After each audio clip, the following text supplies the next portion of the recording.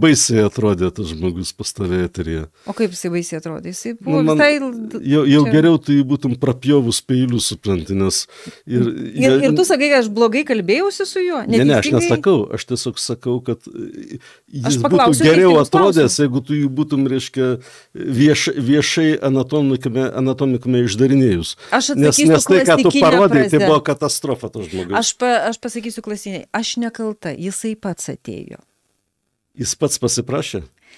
E, ne, aš pakviečiau, bet jisai atėjo. Nu, tegul žino, kur eit. O čia negalima, tai, tai aš tiesiog paklausiau, o tu nebūtum paklausęs Eduardo Vaitkaus, kaip jisai, kaip jisai ketina atiduoti Lietuvą Rusui, nes Rusas didesnis, kad jisai pašaudys į orą ir po to įstarėtis? Rūta Davano, aš šį laiku absoliučiu avigalviu, supranti, nepaisant to, kad jis ten kažkokį tai laipsnį turi. Bet tarp kitko, tarp profesorių yra nemažai tokių, supranti jie absoliučiai nesigaudo pasaulyje ir vien todėl, kad jie trynė ilgai kėdės ten nagrinėdami kažkokią problemėlę, jie pradeda galvoti, kad jie visur turi kažkokią tai svarbę nuomonę. Žinai, nu ir kada jie pradeda tą nuomonę reikšti, paaiškėja, kad tai yra blogiau negu bet kurios namų šeimininkės kalbos. Kaip, bet tai kaip hematologas, aš, aš niekas jam pretenzijų neturėjau. Jis tiesiog turėjo... Ne, ne, tai kaip Vait, hematologas... Eduardas Vaitkus turėjo gana tokią rimtą uoslę korupcijai ir visokiems e, negeriems dalykams sveikatos apsaugoje. Ir jį marginalizavo smarkiai. Jį buvo paėmę atgal, bet jau tada jisai buvo vat, nuėjęs tuo keliu keliu. Jisai buvo grįžęs į sistemą prie vienos opozicinės partijos, jį pasiemė netgi į ministeriją, bet greitai, greitai išprašė. Galbūt sistema vėl atsikratė. Ne, aš šito dalykų nežinau, bet čia panašu į... Iš tikrųjų, aš, to, aš to pasakysiu, žmogus įsivėlęs į kažkokias tai kovas su sistema, jis neturėdamas tvirtų pažiūrų, neturėdamas na, ten ideologijos, jis labai greitai pasisavina svetimą, kuri ten jam greičiausiai yra brukama. Eurika Masytė kad, sako, kad Tutkus atrodė, pasirodė jam, jai klaikiau. E nu, kaip čia tau pasakyti, Tutkus tai bent jis jau dalyvauja rinkimuose prezidentiniuose. Čia irgi dalyvauja. Nu taip, nu tai jie visi ieško ideologijos, bent jie ieško į ką atsispirti šitos rinkimuose. Nu ir kadangi jie nenori būti panašus į, į ten, e, sakykime, nacionalistus ar, ar į konservatorius, nu tai jie taip stipriai e, šlėjasi prie ten prorusiškų įvairių naratyvų, jog e, visiškai su jais susilieja. Man dėl to labai gaila, nes aš Tutkų daugybę metų pažįstu ir tikrai nemanau, kad jo galvoj toks makalas. Ten yra dar vienas momentas, man iš to, kaip buvo komentuojama ir kodėl svarbus Tutkus būtent tai bendruomeniai, e, burbului, kuris tikisi, e, kad e, Lietuva, Lietuvai būtų geriau su Rusija mhm. ir, ir kad Krymas yra rusų ir taip toliau, kad jiems yra Tutkus didelis atradimas, nes jisai yra Lietuvos kariuomenės buvęs vadas, jisai dirbo NATO ir štai žiūrėkit, kaip jisai šneka, kad vis tiek jūs turėsite atkurti santykius su Rusija, jisai taip man pasakė. Na, žiūrėk, jūs ar ne jūs, na, Vis, jeigu, nu, jeigu, taip, jau, ja, jeigu jau taip iš tikrųjų vertinant, tai istoriniu požiūriu kažkada tai tie santykiai taip, turi, turės būti formuojami, bet klausimas yra kokie ir kada tą reikia sakyti. Spenti, šiandien yra būtina suvokti, jog Ukrainos karas yra na, begalinės svarbos, politinės svarbos mums klausimas.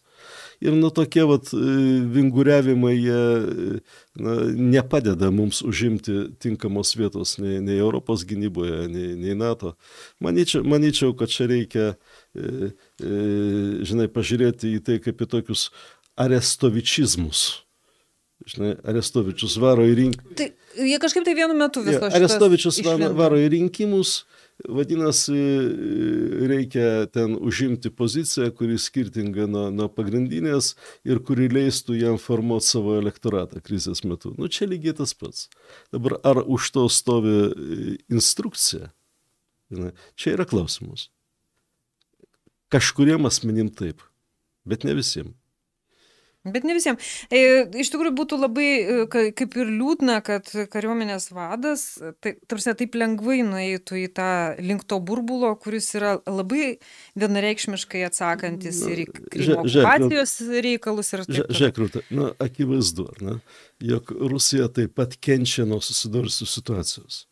Rusija ieško, kaip išeiti iš padėties, kuomet blokuojama jos priekybos galimybės, kuomet na, ten sakykime, aš domiuosi e, įvairia medicininė tematika, kuomet bet kuris ten rimtesnis gydytojas pradeda kalbėti apie tai, koks yra didžiulis vaistų stygius, kaip jie yra priversti naudotis generikais pagamintais e, ten Indijoje, Rus, Rusijoje, mm. Indijoje. Žinai, ir e, natūralu, kad tie klausimai jie na, skaudus ir nori, nenori kažkada tai jie bus vienaip ar kitaip sprendžiami bet nu, krizės metu reikia galvoti, ką kalbi. Taip. Ir tą turi, tą turi daryti tie, kaip tik tai tie žmonės, kurie užima, na, sakykime, rinkiminės pozicijas. Taip.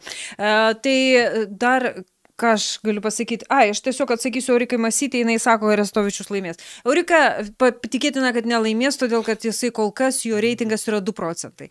Tai, tai mes jį mėgstam, mylim ir taip toliau, jisai labai gražiai, e, jisai daug teisybės, kaip Tai Sakalas pasakė, jis daug teisybės pasakė, bet tame daug yra ir kitokių dalykų. Jis pats yra privaikščiojęs į visas vietas, įskaitant pas Duginą. Na, žiūrėk, tai, pradėkim, tai... pradėkim nuo kitų dalykų. Terestovičius joks ukrainietis.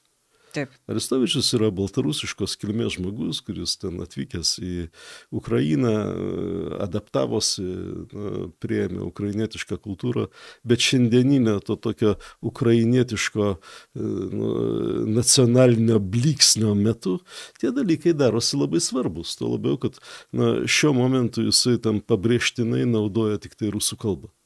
Aš jums esu pasakojęs, kad nuvykus į Kijevą tu e, ten prieš karą, tu galėjai bet kur susikalbėti rusiškai. Dabar tau pabrėžtinai bet kuri mergaitė oficiantė pasakys e, tik tai ukrainietiškai ir, ir tu turi ten jai gerai nusišypsot, kad paaiškintum, kad tu ne maskolius. Nu tai ta, ta Arestovičiaus pozicija jinai yra tokia, e, aš manyčiau, e, nutaikyta ne į šitos prezidentinius rinkimus, bet į parlamentinius rinkimus. Komet jisai praves tam tikrą grupę, taps jos lyderiu. Ir, na, aš, pavyzdžiui, visiškai neatsakyčiau nuo minties, jog tai yra tam tikras susitarimas, kad jisai na, atsisės ant tam tikros na, visuomeninės ten tendencijos ir pabandys ją suvaldyti karo metu. Šiaip ar taip, nu... Nu, mes aš, šitą jau aptarinėjome. Aš jums galiu garantuoti, kad tai yra žvalgybos karininkas. Taip, ne, jisai buvo šiaip ar taip, jisai to neslėpė. Nu,